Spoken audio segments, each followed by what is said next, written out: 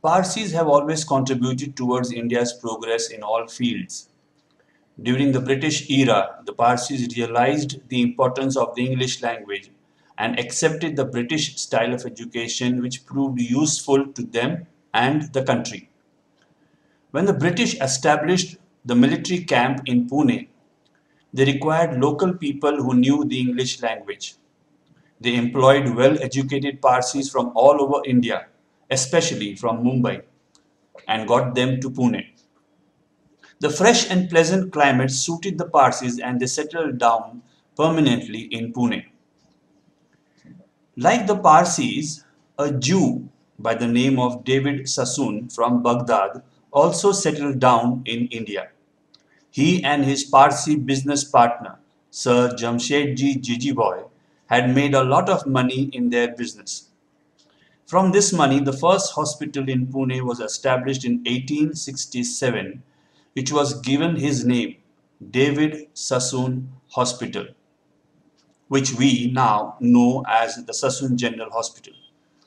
In 1924, Mahatma Gandhi was operated for his appendix in this hospital. Today, it is a government-run hospital with 1,500 beds. While the David Sassoon Hospital was being built, one Parsi businessman, Mr. Bairamji Jijiboy from Mumbai, came and settled in Pune. He had established many educational institutions in Mumbai. In 1878, Mr. Bairamji Jijiboy established a small medical college near the Sassoon Hospital. The medical college was given his name. Today, we know it as the famous BJ Medical College. Every year, the college admits 250 students for the MBBS course. In the 20th century, Pune was hit by the plague and except the Sassoon hospital, there were no other hospitals in Pune. During this time, some Parsi clinics were set up in Pune. Dr. Edalji Koyaji, who had a clinic in MG Road, Pune, decided to set up a hospital. Many rich Parsis came to his help and donated money to build the hospital. A Parsi gentleman by the name of Sir Kawasji and his wife, Lady Hirabai, donated the land to start the hospital and it was named after their son, Jahangir, who died in a car accident in 1944.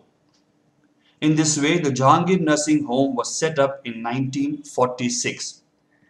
Dr. Edalji Koyaji was the first head of this hospital. Today we know the hospital as Jahangir Hospital.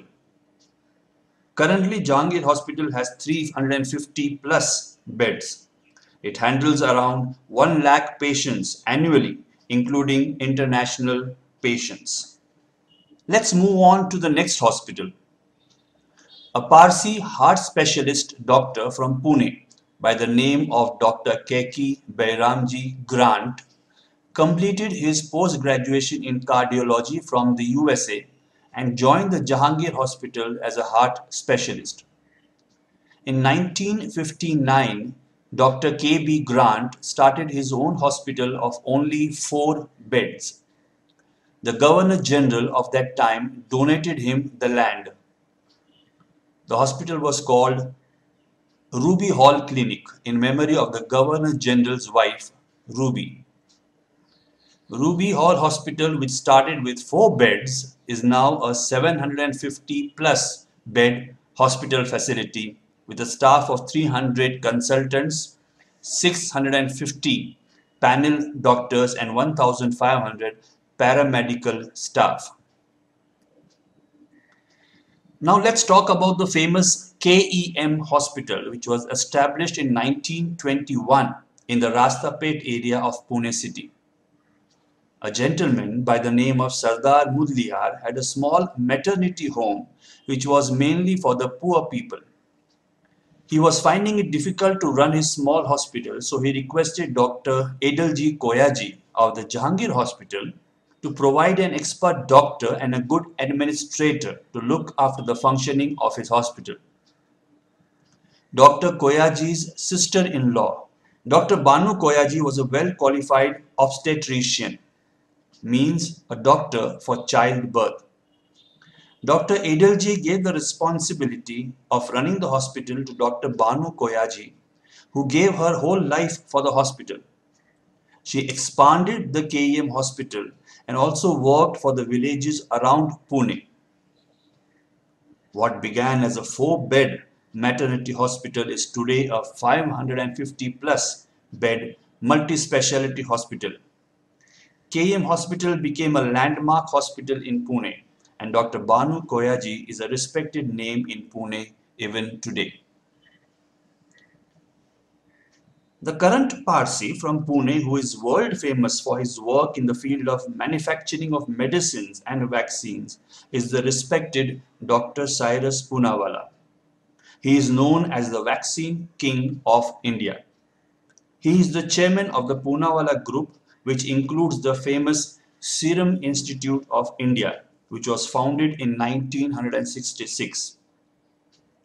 The company produces around 130 crore doses of various medicine vaccines each year.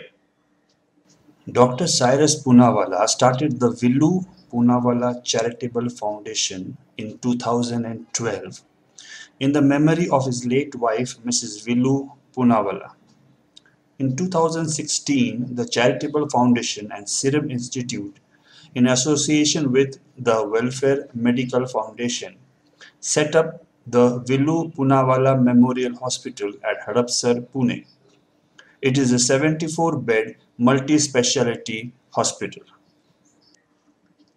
Even today, all these Pune hospitals, which were established and run by Parsis, are working efficiently and providing medical relief to Punekars even in difficult times like the current COVID-19 situation. The Parsi community has left a permanent mark in Pune's medical field and they will be remembered for generations to come. Thank you.